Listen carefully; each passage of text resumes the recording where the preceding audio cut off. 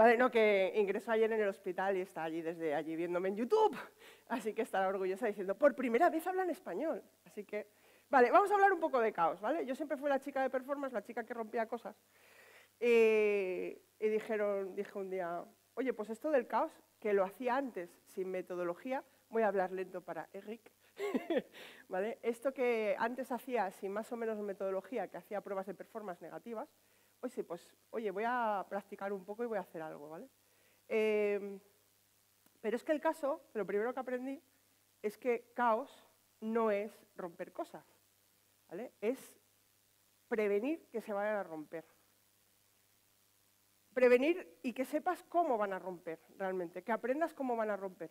Por eso, cuando nos movemos desde un monolito, desde un entorno funcional, normal y corriente, aquellas aplicaciones que teníamos, cliente-servidor, con varias capas, un MVC, lo que sea, cuando estábamos en on-premises, eh, nos valía lo que es el quad tradicional, hacíamos nuestros tests, validábamos, funcionaba correctamente, pero llegamos a ir a la cloud, llegamos a ir a Kubernetes, estábamos globalizados, no tenemos solo un país al que dar servicio, todos los países, en mi caso los 32 países de Europa, eh, les damos servicio a todos, con todos los lenguajes, o sea, es una locura. ¿vale? Y el QA tradicional no era, no era suficiente. Eh, y lo vimos también en el periodo del COVID. Estábamos allí tope felices, ah, bien, vamos a hacer una release en agosto del 2020, ah, qué felices. ¡Pam! COVID. ¿Sabéis lo que pasó, no? Pues eh, que eh, que con el COVID, eh, bueno, esto no es, pero el papel de váter pues desapareció, ¿no? Vale, el caso es eh, que todo empezó eso, con un monolito, ¿no? Voy a llegar otra vez al COVID, no os preocupéis. Pero todo empezó con un, un monolito, todo empezó con un poder, un superpoder del sudoer. Lo sabía todo una sola persona. Todo una sola persona, que era aquella que decías, oh, no tengo ni idea de qué va esto, pero seguro que fulanito que lleva en este... Eh, fulanito, que alguien, ¿vale? Cuyo nombre no sé decir, eh, que lleva en este proyecto 10 años, 20 años, seguro que él sabe lo que ha pasado. Y él rompía todo. ¡Wow! Yo soy Superman, lo rompo todo. ¡Uh! Sé cómo arreglar lo tuyo. ¿Qué pasó? Que nos fuimos a microservicios. Y necesitamos entonces llamar a más superhéroes. Porque ya no era Superman el que lo sabía todo. Teníamos muchos Supermanes. Cada uno sabía lo mejor de su pequeña zona, de su microservicio. Ah, yo sé, soy el Superman de este microservicio y lo sé todo este microservicio. Pero cuando me voy a todos los microservicios a una plataforma global y tengo una sola app, pues no sé lo que le pasa al otro. ¿vale? Es un pequeño problema. Entonces tenemos ya a la Justice League, ¿no? Tenemos a la Liga de la Justicia ahí, con todos los superhéroes súper chulos allí. ¡Guay, guay! Pero ¿qué pasa? Que es que no llegamos, ¿sabes? Tenemos tantos microservicios, tantos, tantos, tantísimos, que no podemos ir generándolos. Bueno, sí, si tuviésemos Miraculous y demás, o sea, podríamos ir dando ahí todos los... Eh, inyectándoles para tener superpoderes, pero a lo mejor no salen como The Voice, que espero, ¿sabes? No queremos eso tampoco, ¿vale? Entonces, ¿qué pasa? Pues que podemos tener eso, podemos tener... Eh, problemas, avalanchas, porque uno de los microservicios no funciona y el otro sufre una avalancha porque este no funciona. Eh, no somos resilient, no, somos fuertes ante un problema. Tenemos eh, outages, ¿no? O sea, podemos quedarnos sin servicio debido a un third party que ni siquiera controlamos. O sea, si falla, eh, se falla el third party y el del banco, pues mi pasarela de pago no funciona. Pero ¿qué pasa? ¿Me voy a caer yo? Estamos creando al final, con toda esta complejidad, creamos single point of failure, ¿no? Puntos únicos de, ruptura, de fallo.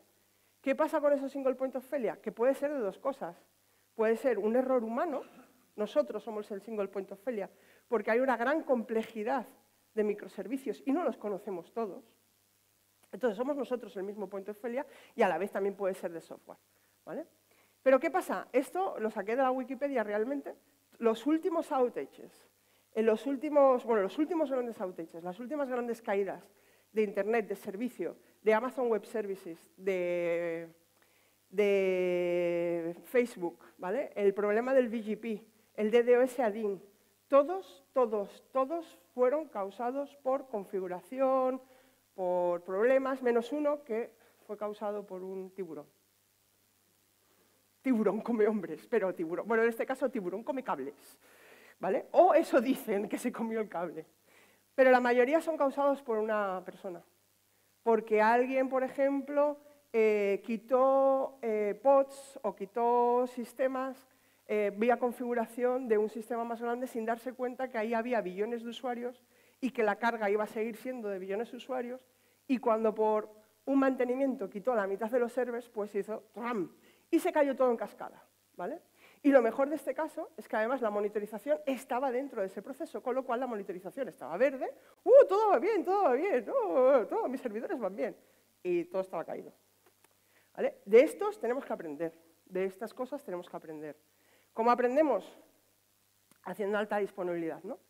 Eh, pero lo que tenemos que hacer es aprender de esos errores. Con lo cual creamos a los villanos, ¿no? Tenemos los villanos ahí que nos producen errores nos van a crear incertidumbre, nos va a crear complejidad. Eh, tenemos los, siempre, estamos siempre luchando contra los villanos, pues tenemos el failover, el failure mode, eh, siempre estamos con circuit breakers, siempre que nos atacan, siempre el villano, pues lo intentamos mitigar y hacer algo ¿no? contra el villano. Un retry policy, un circuit breaker, un cancellation token, tenemos todas estas cosas contra los villanos. Pero es que el caos realmente muchas veces lo provocamos nosotros, como vimos los outages, eh, eh, las pérdidas de servicio, venían provocadas por nuestros cambios de configuración. Nosotros somos los más villanos de todos. Somos supervillanos realmente. Somos los que rompemos el código. Eh, pero, ¿por qué no nos convertimos en un antihéroe? ¿Vale? Nos convertimos en el Suicide Squad. Somos aquellos antihéroes que vamos a salvar las pifias, pifias de otros. ¿vale? Vamos a salvar lo que, lo, que, lo que han hecho otros. Y para eso, yo lo que tengo que saber es lo que hace el villano. Entonces, no hay nada mejor que para luchar contra un villano que un propio villano. ¿Cuál es la diferencia entre el superhéroe que hace performance y el villano o antihéroe que hace chaos engineering? Em, la diferencia es que básicamente el performance va a buscar los límites, ¿no? Vamos a buscar los límites y tal. Lo que hace el chaos engineering, lo que hace el chaos testing, es también extender tu visión del performance. Porque no solo estás buscando los límites, estás buscando eh, que, sea, que tu sistema sea anti-errores, resilient a cualquier fallo que pueda tener. ¿Vale? Eh, entonces, lo que hacemos con el chaos engineering es intentar crear un orden dentro del caos. Vamos a intentar saber que dentro de este caos, que puede ser un periodo de COVID, qué va a pasar y por dónde podemos romper. ¿Por dónde vamos a poder romper? Con una carga inesperada o con una anomalía. ¿vale? Lo que vamos a intentar hacer es encontrar aquellos fallos o aquellos problemas antes de que nos lleguen. O sea, voy a ser una superheroína, ¿vale? Porque antes de que llegue el problema, ¡papán!, lo resuelvo. Soy un caos coordinator. Sé que está llegando el caos, sé que hay una anomalía y sé que va a venir una tormenta. Pues vamos a refugiarnos de la tormenta. Entonces, lo que hacemos es eh, introducir eventos de caos de una forma controlada. Cuando estamos haciendo performance, estamos eh, en un entorno, el que os dé la gana. ¿vale? Ya pueda ser preproducción, staging, local, el que queráis. Em, lo podéis meter, eh, podéis introducir eventos de caos de una forma controlada en los, en los, entornos no productivos. Lo bueno es cuando lo llevas a producción y haces un gaming day, pero bueno, eso ya, eso ya luego, luego. Eh, la otra cosa es que mientras tú estás lanzando tus pruebas de performance y estás añadiendo eventos de caos, lo que puedes hacer es monitorizar en real time esos, tests para intentar simular lo que va a pasar en la realidad y para saber, intentar detectar eh, qué posibles problemas puedes tener. Eh, una cosa es recolectar las métricas, lo que estaba contando Marc antes, ¿no? tienes que encontrar las métricas durante las pruebas de carga. ¿Vale? Aquí uso pruebas de carga, no, no performance test, ¿vale? Porque Chaos Engineering realmente de performance. Pero bueno, eh, estás haciendo una prueba de carga, estás añadiendo sobrecarga, estás haciendo estrés al, sistema y estás viendo por dónde puede el sistema empezar a romper, dónde se puede empezar a producir el caos. Eh, pero también lo que tienes que ver es cuándo y cómo se están produciendo esos problemas. Antes de que llegue a pasar, qué anomalía puedes medir o qué está pasando en el sistema y qué Em, qué, eh, qué métrica puedes tener para detectar esa anomalía que finalmente va a acabar en un error. Con lo cual hay que medir el impacto. Entonces, eh, ¿cómo empezó el caos? ¿vale? ¿Cómo empezó el caos? Primero hubo una gran explosión y aparecieron los dinosaurios. Eso fue el principio del caos. No. En el 2010, eh, Netflix, que ya estaba pasando a, un, a una nube, eh, introdujo el Chaos Monkey, y luego el Gorilla Arby, y luego... ¿vale? Pero vamos a hablar del Chaos Monkey. El Chaos Monkey revolucionó lo que fue la forma de entender no solo el Chaos Engineering, sino también el Performance Testing.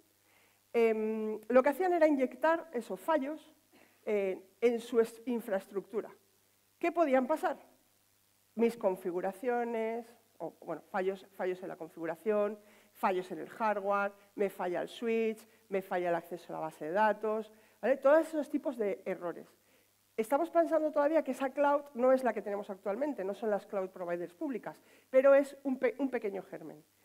Lo que hacían era definir cuál era el sistema, el System Under Test, el SUT, siempre cuál es el sistema Under Test, y cuál era su comportamiento normal, ¿vale? Normal, de cuál era su normal. Definían cuál era la hipótesis de partida de este es mi escenario de carga, esto es lo que voy a tener en producción, en este caso era todavía para vender DVDs, o sea que imaginaros, año a cachipo eh, definían cuál era su escenario normal y diseñaban un experimento. ¿vale? A los tests de caos se les llaman experimentos, porque realmente no estás testeando nada, estás experimentando y rompiendo cosas. Lo que hacían era ejecutar su experimento, en plan, me falla el switch, me falla la base de datos, y lo que hacían luego era, por supuesto, eh, coleccionar esos datos, analizarlos, validarlos que su hipótesis era correcta y eh, volver a ejecutarlos. Lo de la validación de la hipótesis siempre tira que tienes que recoger datos de lo que tienes en producción o de lo que tenías en producción, llevarlos a tu entorno de test donde estés haciendo la prueba y volver a lanzarlo validando la hipótesis. ¿vale? Es como hacemos el performance, básicamente. Se juntan todos los superhéroes de Justice League y hablan. ¿vale? Crean una metodología, una teoría, unos principios y, por supuesto, qué beneficios vamos a tener de este testing. Porque si yo no tengo ningún, no tengo ningún beneficio, si no saco ningún beneficio del test, ¿para qué lo voy a hacer? Em, lo primero, lo que decíamos, ¿no? Construir la hipótesis. Yo tengo este estado inicial, quiero llegar a un estado final en el que todo sea estable, pero en ese periodo tengo ciertos errores.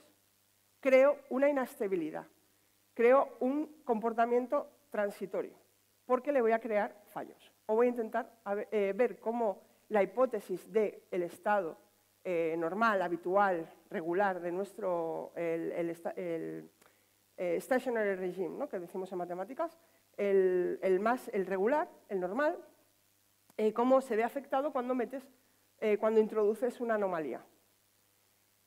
Hay distintos tipos de test, obviamente, y tenemos que tenerlos en cuenta. Por supuesto, hay aquellos que son un pequeño caos, ¿vale? que son muy fácilmente recuperables. Estos son, obviamente, como la ley de Pareto. Estos son los que más aparecen, pero los que menos nos van a preocupar. ¿vale? Que haya una anomalía pequeña, vale, la corrijo y la, tengo. Luego, obviamente, están aquellos que producen un, pequeño problema de disponibilidad. Aquellos que, por ejemplo, hacen que tengas un outage en un third party. Aquellos que tengan un outage, que tengan una pérdida de disponibilidad en un microservicio con el que estoy hablando, aunque tenga, por ejemplo, una cola entre ellos. ¿vale? ¿Qué pasa con esa pequeña indisponibilidad que tengo en ese otro microservicio? Te crea problemas de disponibilidad en tu parte, pero realmente no te hace una caída total. ¿vale? Porque al final el sistema se va a recuperar y lo vas a tener. Luego tienes, obviamente, aquellos que son grandes fallos y, críticos y que además están en tu mano. ¿vale? Esta es la diferencia entre high chaos y extreme chaos. Esto suele pasar pocas veces. Los que tienes high chaos, por ejemplo, los que tienes una configuración, has, hecho un rollout de tu, software o de tu hardware como infraestructura como código y has provocado un error. ¿vale? Es difícilmente identificable o lo, lo, puedes encontrar difícilmente, o sea, lo puedes encontrar fácilmente, pero no se, es fácilmente recuperable porque no tienes retrocompatibilidad de versiones, porque tu infraestructura ha hecho un upgrade que no puedes tirar para atrás, eh, todas estas cosas que son difíciles de volver atrás, de hacer un rollback, eh, y que realmente luego lo que vas a tener que sacar es un hotfix para arreglarlo, ¿vale? Y luego tienes ya los extreme chaos, que normalmente suelen ser eh, errores catastróficos que no dependen de ti. Tu cloud provider se va, una región tiene un outage, eh, hay una inundación en un data center, todas estas cosas que no dependen de ti. O tienes un periodo pandémico de COVID. entonces, ¿qué pasa en el mundo real? ¿Qué pasa en el mundo real? Aunque digamos, oh, estoy en la cloud, la cloud es súper bonita. ¿Qué son las clouds? Mira, mamá, son eh, servidores Linux que están en la nube. Oh. No, son servidores al final. O sea, hay un tío en un data center en medio de Iowa que tiene un cable aquí, otro cable aquí y le está plugin, ¿sabes? O sea, hay alguien detrás. Eh, entonces hay, eh, hay fallos de hardware. Por supuesto que hay fallos de hardware. Hay mantenimientos de tu cloud provider. No, vale.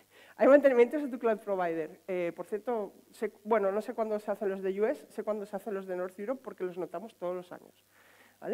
Eh, por supuesto, luego hay errores de código. Nuestros queridos developers, hola, amados developers, developers, eh, hacen también fallos de software, ¿vale? Y nosotros también metemos fallos de software de vez en cuando, porque todavía todos tendríamos que tocar el software. Por supuesto, hay eventos que no son de error, pero que provocan anomalías.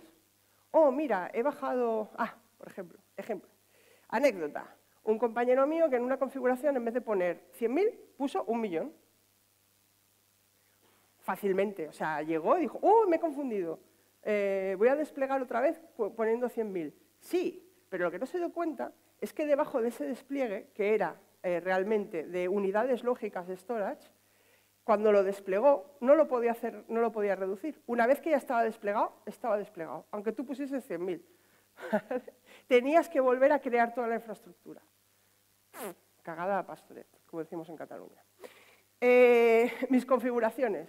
Configuraciones, por ejemplo, que no tienes en cuenta cuáles son las CPUs que tienes si estás configurando un web server sin tener en cuenta el dimensionamiento de CPU. Ah, pues a este le meto 200. ¿Por qué?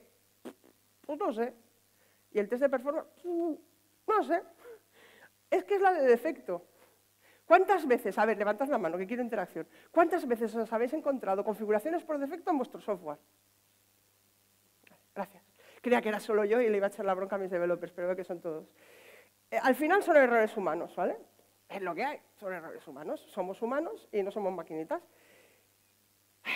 Y somos nuestro propio antihéroe. Nos convertimos, o sea, nos dan esta dosis de kriptonita roja que nos hace convertirnos en maléficos supermanes. De pasar de ser el tío, oh, yo, o tía, ¿vale? Ah, soy la tía que lo sabe todo de este producto. ¡Uh! A convertirme, soy la tía que he destruido este producto. O que hace que los costes... Ah, bueno, sí, alguna prueba de performance que hace que se tiren un millón de SMS y te los cobran.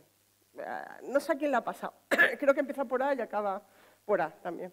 Em, entonces, lo que hace es eh, los villanos, que eran, ¿vale? se convierten en los antihéroes, Suicide Squad, y se van realmente a por este tío que lo sabe todo y que lo ha roto todo. Se van a por el Superman. ¿Qué necesitamos? Necesitamos ayuda para automatizar. Esto no se puede hacer. Acordaros lo que os enseñaba al principio, ¿no? Ay, que todo era como una gran maraña de microservicios, que nadie sabía lo que era. Automatizar. Necesitamos a Cyborg. No sé cómo se llama en castellano, pero en inglés Cyborg. Bueno, entendéis, ¿no? ¿Quién es Cyborg?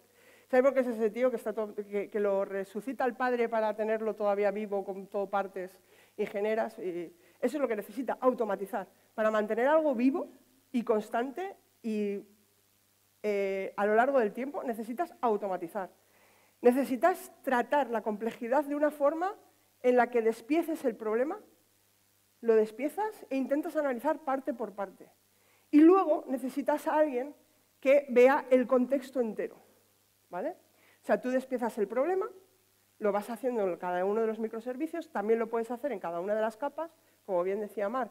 Empiezas por network, eh, hardware, CPU, disco, ¿dónde está el, posible problema? Acordaros que las mismas métricas son las mismas que tenemos en la cloud, aunque maquilladas, porque te dan infinito si tienes una credit card infinita. Si no, no te dan infinito. ¿eh? Eh, y luego, pues obviamente, necesitamos a, una Satana o a un John Constantine que vea más allá de lo que hemos encontrado. ¿vale? Los beneficios de esa automatización, como los vemos. Lo primero, seríamos como, voy a meter otra geeky, freaky quotation, ¿vale? que sería como Illidan en World of Warcraft, you are not prepared. really, ¿vale? Eh, para lo unexpected, ¿vale? Que te aparezca un demonio de repente. ¡Hostia! Es que he dicho esta palabra mal y me ha aparecido un demonio. Quita para atrás, rollback, rollback, tira para atrás. Tenerlo todo, absolutamente todo, para eso te ayuda a tenerlo automatizado. Tienes el Terraform, tienes la, el Puppet, tienes el Ansible, tengo la configuración, vuelvo para atrás. ¡Pup! Ya está. Se acabó. Y tengo la otra versión del código y me tiro para atrás. Muy bien. Eh, descubrir aquello que no conoces. O sea, si yo meto, yo no conozco el software de mi third party, ¿vale? Yo no conozco el software del banco, no lo quiero conocer, de hecho. Para mí es algo que responde en HTTP o en gRPC o en lo que sea, ¿vale? Es algo que responde, se supone que responde. ¿Qué pasa si no responde? Eso lo tengo que probar.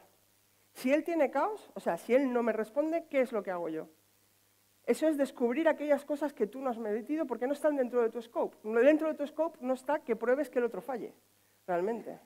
Entonces, como hipótesis pone, supón que este tío siempre falla, ¿vale? Y siempre me está dando un timeout o siempre me está dando un error o no va a encontrar la información que tiene. Descubres lo que puede pasar pero que tú no, no tenías en tu scope. Por supuesto, tienes que reducir el tiempo de caída, ¿vale? Cuando tú metes caos, Voy a ir a toda hostia a partir de ahora. Eh, cuando metes caos, lo que tienes que reducir es el downtime, ¿vale?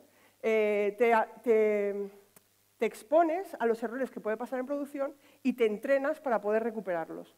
El entorno de performance de la empresa en la que yo estoy no se llama entorno de performance, se llama entorno de training, porque hacemos un training, un entrenamiento, tanto al software como a los equipos. Les exponemos a errores de caos para que ellos puedan venir y decir, ah, ah, no, es Almudena. Es un gaming day. Pero normalmente es, ah, está la CPU arriba, están matando pods, ¿por qué están cayendo? ¿Por qué están restarteando? ¿Qué pasa? ¿Qué pasa? ¿Qué pasa? Hay un gaming day. Todo el sistema de alerta ha funcionado.